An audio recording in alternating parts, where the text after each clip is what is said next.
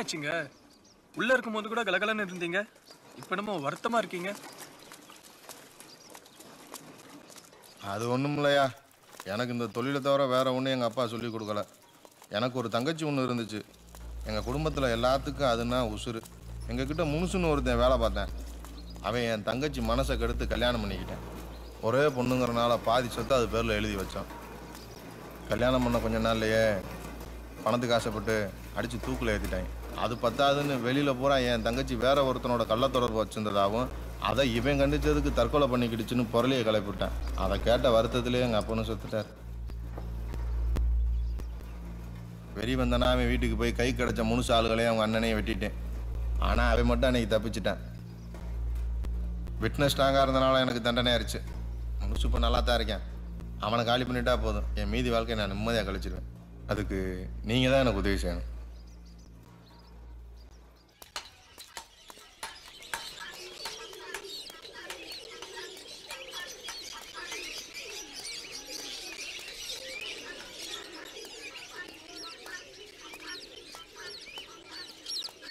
நீ பாட்டுக்கு ரவி சொன்னதுக்கெல்லாம் தலையாட்டிட்டு வந்துட்ட?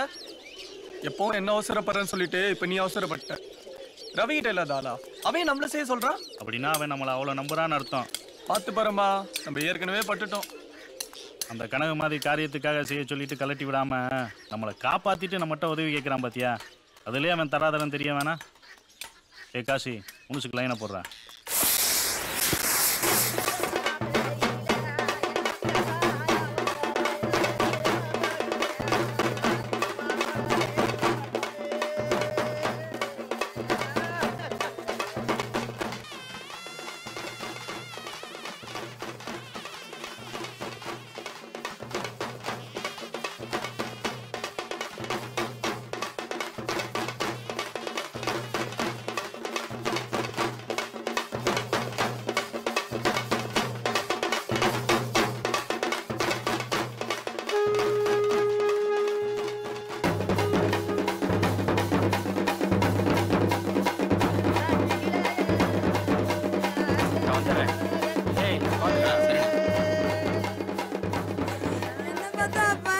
சரிதா விடுதா விடுதா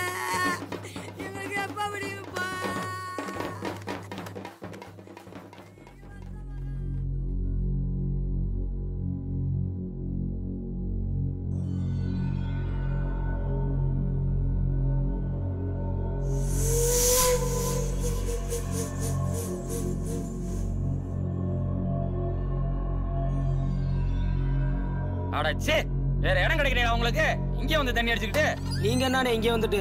வீட்லயே போயிருந்துருக்கலாம்ல. பொம்பளை ஆளுலாம் இங்க இருக்காங்கல்ல?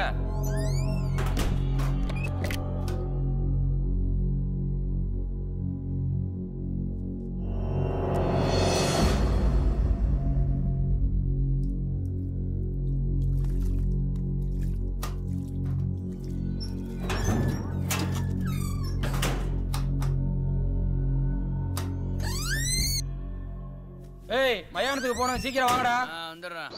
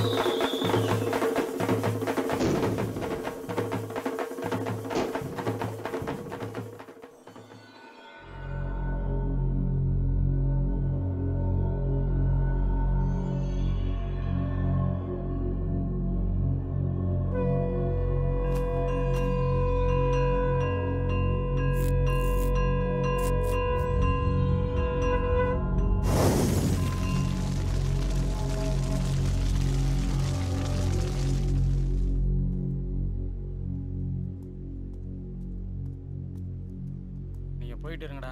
ஒண்ணுக்கு போயிட்டு வரேன்.